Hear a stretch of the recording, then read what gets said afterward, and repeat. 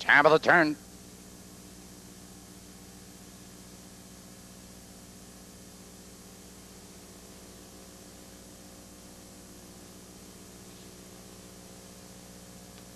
Here they come.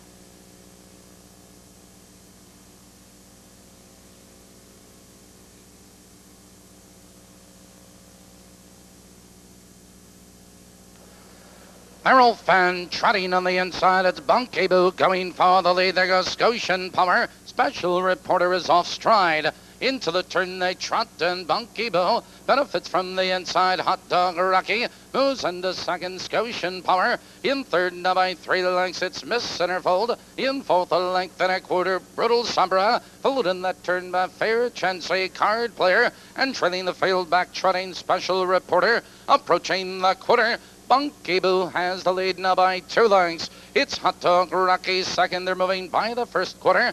30 seconds flat the quarter. Bunky Boo maintains a two-length lead. It's Rocky second by six lengths. Scotian Power in third now by two lengths. Miss Centerfold followed by Fair Chancey as they approach the half-mile marker. Bunky Boo has the lead now by two and a half lengths. Hot Dog Rocky in second now by about 10 lengths. On the outside, here comes Miss Centerfold. It's Goshen Power back to third, followed by Fair Chancey. It's Card Player, Brutal Sabra Special Reporter. 101 flat. Now they trot into the clubhouse turn.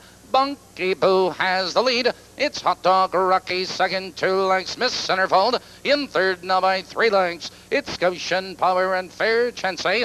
Now they curve into the back stretch, approaching the final quarter. Bunky Boo by two lengths. It's Hot Dog Rocky. Trying to come on second. Miss Centerfold is under urging, and there goes Fair Chancey. Followed on the outside by Card Player. They're by the three quarters, 132 flat.